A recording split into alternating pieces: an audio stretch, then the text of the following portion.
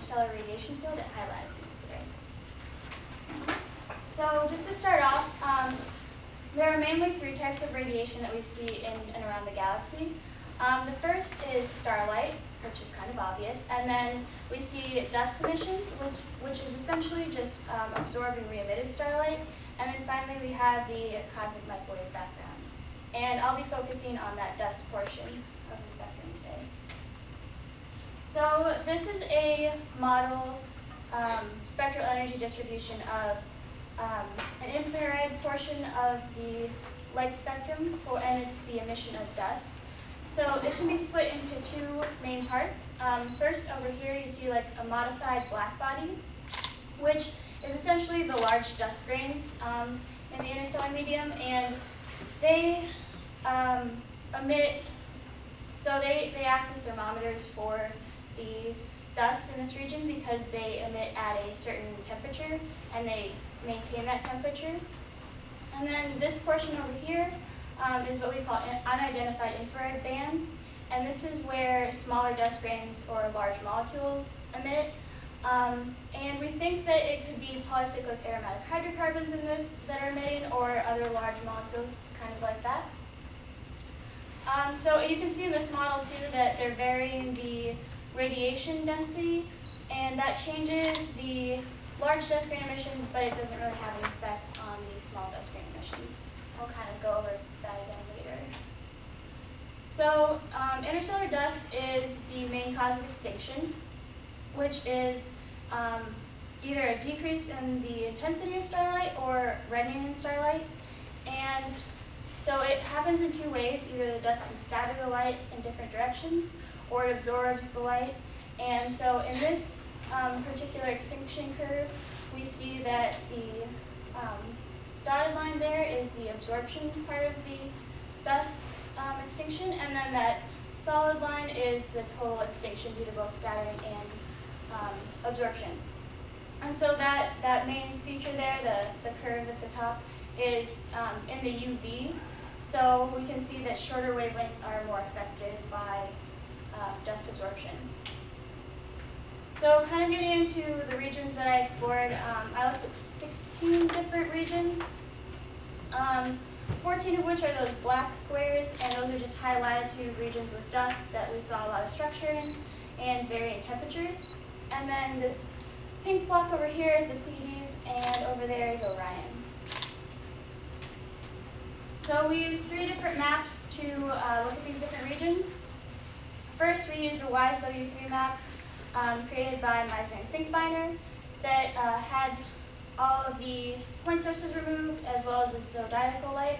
And it's a 12 micron full sky map which spans from about 7 to 17 micron. And then we used a EB minus V reddening map created using um, IRAS 100 micron data. And EB minus V is essentially the effective column density or the amount of extinction due to um, the dust you see there. And then finally, we use a dust temperature map created using IRAS 100 micron data and DIRBE 140 micron data. So the way we analyzed this data was um, first by using DS9, which is just a visualization software that you can look at different tiles of each of these full sky maps. And so what I did first was look at the temperature maps, and then I fit it like, we put contours over that to see where there's different, like a temperature gradient. And then I placed regions about one degree each um, in those contours to kind of fill out the space.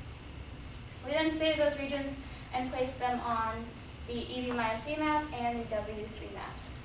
So then we use an extension, like an extension to DS9 called FunTools, um, and this allowed us to get the counts and the pixels in each of those one degree regions. And by taking the counts over the pixels, we could get the temperature, the magnitude for the EB minus V, and the data number for the WISE W3. And this, this isn't actually the whole tile size, they're each 10 degree tiles. And this is just a small portion of that.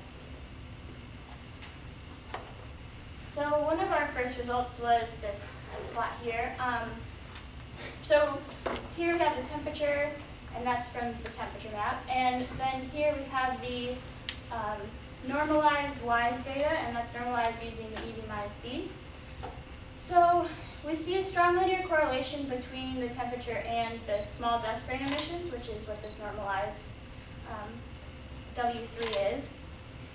And uh, this tells us that in areas with higher radi or energy density, which is indicated by higher temperature, we see more of these small dust grain emissions. So this tells us that not only is the energy density changing, but so is the spectrum of the radiation. And going forward, we see that again in this plot, which is just Orion and the Pleiades. We had to plot this separately because, as you can see, the temperature is much gets much higher in these regions, and we see a lot more of those small dust grain emissions. Um, this is due to the fact that in both these regions we have stars in the fields, so they um, they can emit more UV photons, and then you'll see more of the small dust grain emissions. So this is just um, further examination of how extinction affects the small dust grain emissions. So as you saw in that extinction curve, UV photons are especially susceptible to extinction. Um, and we see that here with kind of an exponential decay. It's a little hard to see because they're all just meshed in there together. But um, so we've got the extinction here, and so as that increases, we see fewer um, emissions of the small dust grains, and that's kind of more apparent when we look at individual regions. So here is the log of that um, normalized W3 data. So you can see in each of these that they're decaying, um, and that just goes to show like more that it's kind of um, inverse relationship there. So finally, we looked at the hardness of the radiation fields in each of these regions, and that just means uh, we looked at the ratio of a particular UV wavelength and took that over an optical wavelength to find um, where we were having more UV and versus optical. And then here we have EV or W3 over EB minus V again, but this is when there's no extinction. Um, and we did that by just going back to zero here, and we used this um, intercept there. So we were expecting a sort of uh, linear sort of correlation here because we were expecting more UV, we'd see more small dust grain emissions, but um, that's not exactly the case. As you can see, it's kind of just scattered all over the place. And we think that's due to the fact that um, there's varying numbers of small dust grains in each of these regions. It's not constant. The small dust grain to large dust grain ratio just isn't the same everywhere like models would have you believe. So our main conclusions from this are that as we see energy distribution changing, we also see um, the spectrum changing. And this is verified when we look at the extinction and kind of see that that's changing is um, reddened, that kind of thing. And then finally, we see that um, the small to large dust grain ratio is not constant. So the main takeaway is that, like in that first model, when only the radiation density was changing, we can see that the spectrum is also changing and the number of small dust grain to large dust grains is changing. And so obviously the real world is a lot more complicated than the model would have you believe. So I'd like to thank my mentor, Dr. Adolf Witt, um, the REU program here at University of Toledo, especially Rick and Linda. And I'd like to thank the National Science Foundation for funding my project.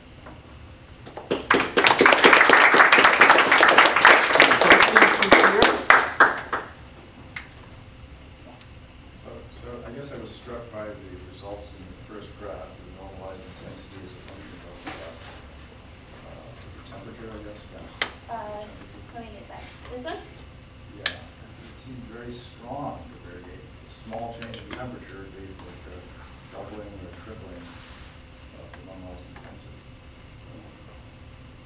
So, I'm just curious why that is. Yeah, and that's, that's, that's just the whole thing where we think it's that as the energy density goes up, there's more UV photons available for absorption, so that's, um, While we're on this, I, I struck my curiosity bone. Um, do you know anything about those two points? yeah. Yeah. So those two points, so some of these last regions that we looked at, these four down here, they're molecular clouds. And um, we think these two regions are so high up there because maybe it's a star forming region or there's something going on in that particular region. Because both of these two regions are very close together. So we think that maybe be an overlapping type of area or something like that. But yeah, those are the only regions we saw anything like that in, so. So- So could this be a way to identify star-forming regions if they have a, they don't fall on that line, or something you're looking Maybe, at? I, I don't know, I didn't do a whole lot of extra research into that kind of thing, but, yeah. It could also just be an artifact in the data. So in this ratio of W three upon E B minus V, as it, so as the temperature is increased, two things, either your W three is increasing or E of B minus V is decreasing. Right, In the subsequent plots which you showed, if you go to the next plot, uh, not this, uh, one more, I guess. Yeah, this is W three of EB minus V of EB minus V. So that is like, this shows that the ratio in, in the y-axis is decreasing because of the increase in EB minus V. So this tells me that your first graph, which you have, therefore with respect to temperature, is it a real artifact of EB minus V decreasing or W three increasing? It's a good question. Um, I'm not exactly sure, I'd have to go through and look at the actual data, because I'm sure for different regions it varied a little bit as far as which, which was changing the most, Yeah. but, yeah, it's a good question. Well, I think if you, if you compare these graphs with the, the one that she showed later where, where there was essentially no correlation, shows really that, that the extinction is the major factor that changes the density of the radiation field. And while it changes the density, it also changes the energy distribution. So those two go hand in hand any other mechanism, those things would be independent. Okay. There's one more after this plot. Uh, yeah. So how you calculate this x-axis UV upon optical? Okay, so um, for this, we use an online tool that gave us the um, it gave us the intensity in a certain wavelength that we input out to a distance in a certain direction. So for some of these, we went out to about 500 parsecs or so, and um, we looked at different. So we looked at 115 angstrom for the UV, and then 4,500 angstrom for the optical. And so at each of these regions, we took that ratio for each like 10 parsec little section, and then I used a weighted average to get each of these values for each of the regions.